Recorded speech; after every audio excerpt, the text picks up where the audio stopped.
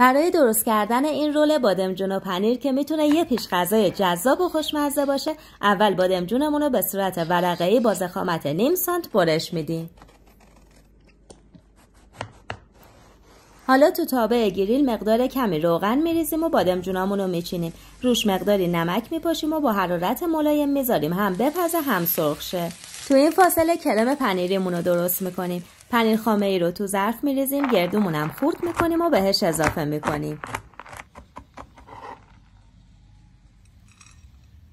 حالا ریحونمون رو خورد می‌کنیم و به همراه یه حبه سیر و نمک و فلفل سیاه به بقیه مواد اضافه می‌کنیم و با هم مخلوطشون می‌کنیم.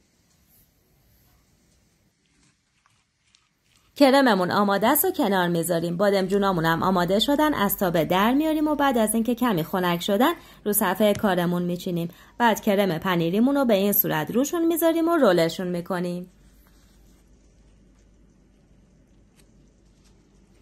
همه رولامون که آماده شدن سه تا سه تا همراه گوجه گیلاسی و فلفل سبز داخل سیخ چوبی می‌زنیم.